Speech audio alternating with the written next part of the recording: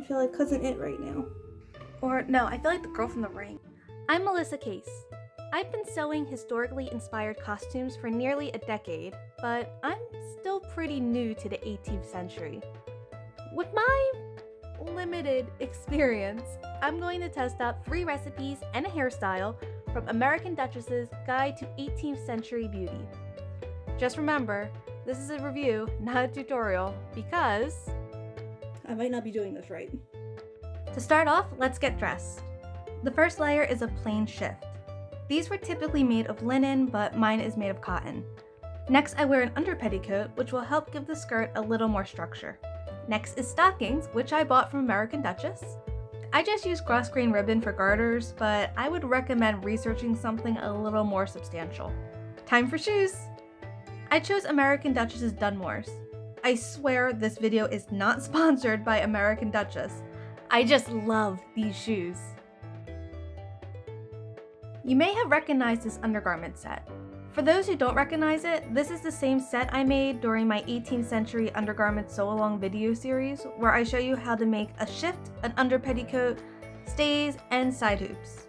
It's on YouTube and completely free, and I even provide a link to the pattern I used. I'll put a link to the playlist in my description in case you're interested.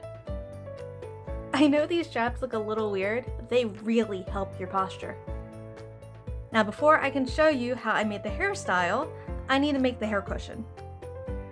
To make the hair cushion, you need the beauty book for instructions on the pattern, wool knit fabric that is close to your hair color, scissors, a pencil, thread that matches the fabric, pattern paper or wrapping paper with a gridded back, and something to stuff the cushion with. They suggest horsehair, granulated cork, or wool roving. I used the fluff from an old pillow. I was worried it would deflate under the weight of my hair, but it satisfied me. Speaking of satisfied, have any of you watched Hamilton yet? I'm on my third rewatch and I am loving it. I feel like I notice a dozen new details every time I watch it. If you've seen it, let me know what your favorite song or moment from the show is in the comments. Evan's favorite is You'll Be Back. I'll say mine is satisfied whenever I'm asked, but in reality, my favorite is whichever one I happen to be watching at the time. I just really love the show. Okay, focus Mel, hair cushion.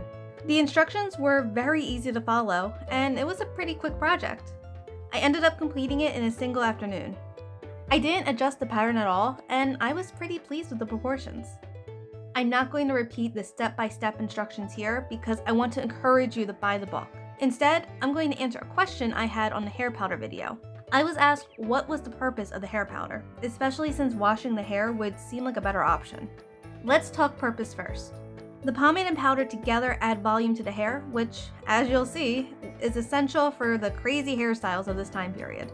Like modern hair care products, the pomatum helps nourish and condition your hair. The clove and the other spices also repel bugs and other pests. There's also a factor of ease, since if you're styling your hair the same way every day, your hair tends to remember the style. Case in point, the part in my hair that I'm always fighting with. Abby Cox pomade and powdered her hair for almost an entire year and only had to reapply it at minimum every two weeks. And she found that her hair was pretty quick to style.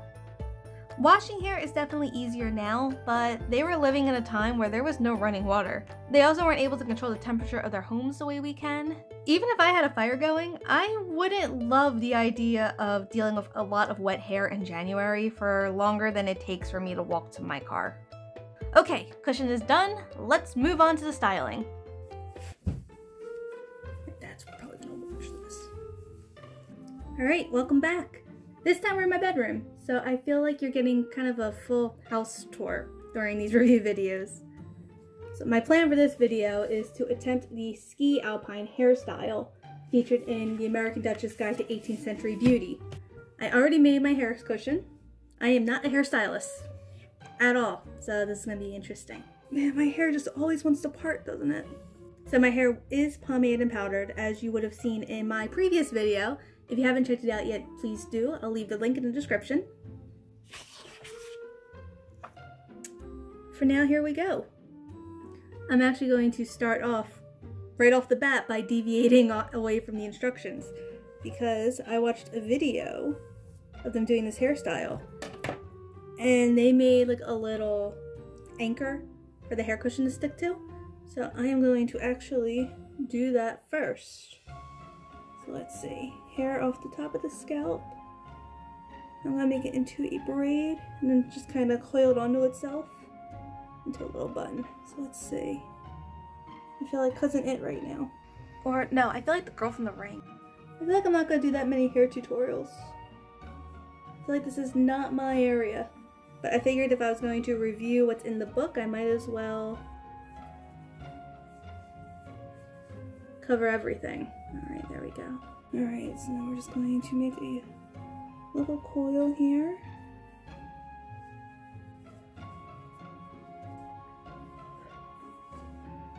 It's hot in there.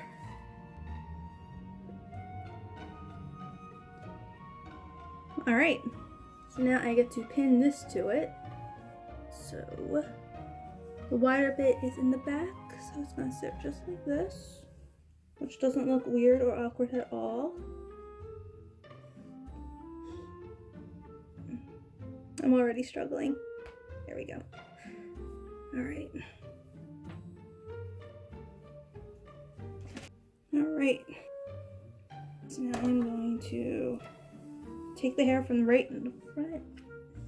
Now this is going to go right up. Right.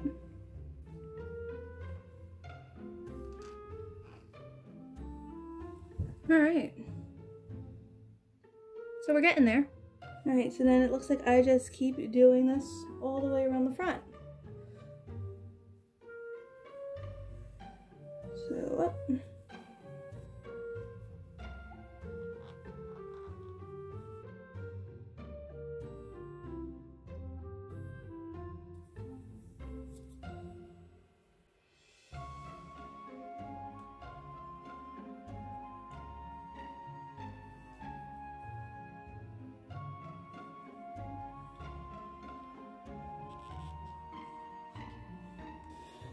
I think so far so good, right?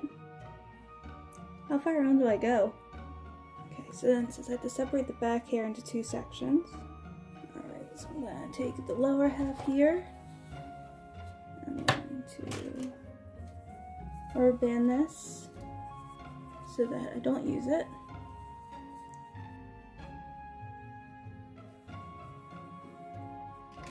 Just want to remind everybody this is a review, not a tutorial, so uh, I might not be doing this right.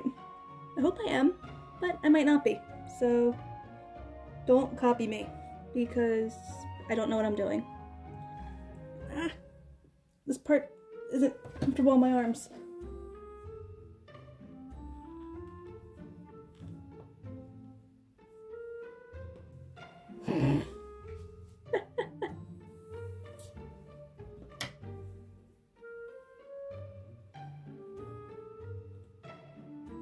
Like I'm running out of room in this cushion. Okay, I think I'm on the last piece. How exciting.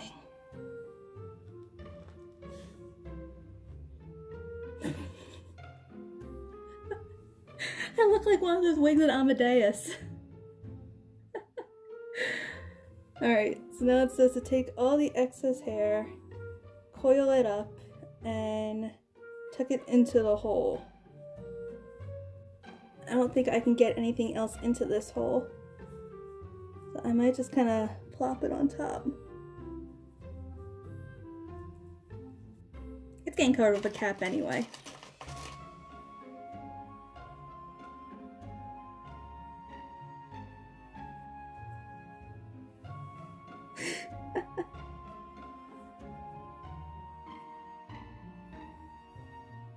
Alright, still got these bits, but I don't think I can do too much about that. That's just my hair. like I'm lopsided.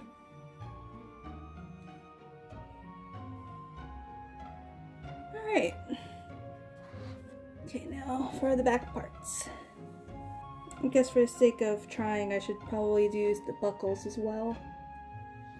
In the book, the buckles are already done. They're pre-made, but we can try one or two, right?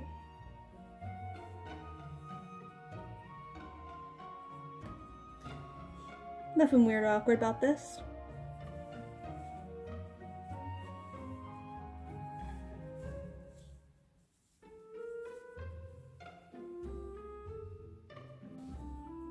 This goes up. I can't quite reach the top. Good enough, right?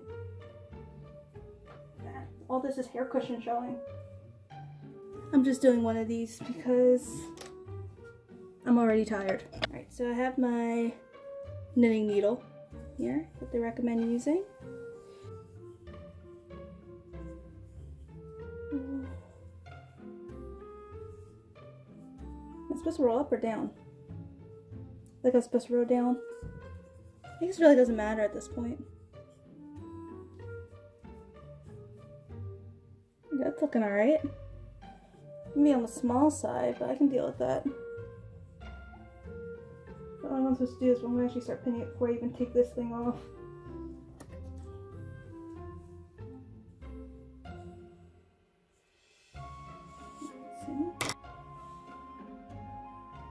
I can't see it. Ah, I missed a strand. I'm just gonna pin it up because no. I just noticed my mic isn't plugged in. Whoops. But now I'm blurry. There we go. Now, all in all, this has been a fairly easy hairstyle so far. I say so far. I'm almost done.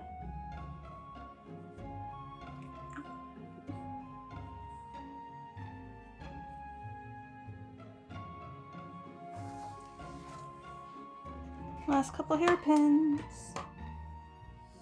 Alright. These are just how my hair grows. I can't help that. I could possibly try to smooth them up with pomade, but I feel like even that's gonna just be futile, so I'm just gonna just let them to the back and hope for the best. I hope I did okay, because I can't fully see all around my head. Honestly, that was pretty easy. It took less than a half hour and it looks pretty right. So it says to do a little bit of pomade and get any flyaways to stick to the hair, which is good because I do have flyaways. But that's also just how my hair is, so I might only be able to do so much.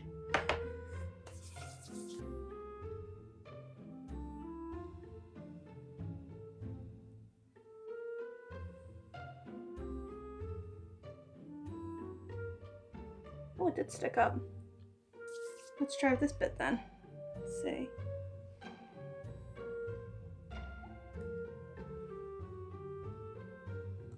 There we go. Eh, come on, yellow stubborn piece, get up there. Stay. That actually worked. I never should have doubted them. Alright, so just a bit of powder left, which I'm going to do in the bathroom because no. Powdering my hair made this come back. So, a little bit more pomade, I guess.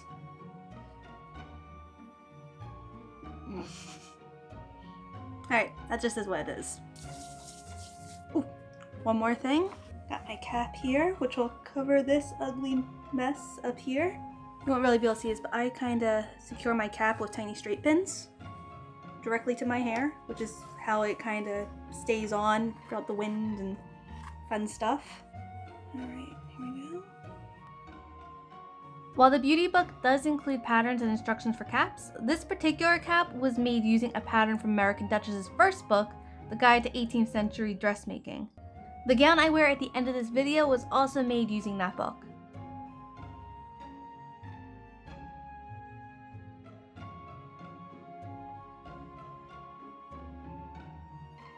This little piece of hair is going to be the bane of my existence. Just gonna pin it up under the cap where nobody will be able to see. It looks weird. Alright, so that was pretty easy. I love how tall my hair is. It actually goes right up to here, which feels incredible. You're probably wondering how this hairstyle held up. We went to an event at the Museum of the American Revolution pre-quarantine. It was a pretty windy night and there was a bit of dancing. It was a good time and my hair held up pretty well. I would definitely recommend this hairstyle, but maybe have someone help you with the back. Now for the big question. How do you get this stuff out? It's actually simpler than you would think. First, you shampoo your hair while it's dry. Then you hop into the shower, rinse it out, and after that, you shampoo and condition again as normal. The smell of clove might linger a bit, but your hair is going to feel fantastic. I hope you enjoyed this review. Any questions, please feel free to leave them in the comments. If you're not subscribed to my channel, now is the time to do so because I'll be reviewing the rouge in my next video. I'll see you next time. Bye!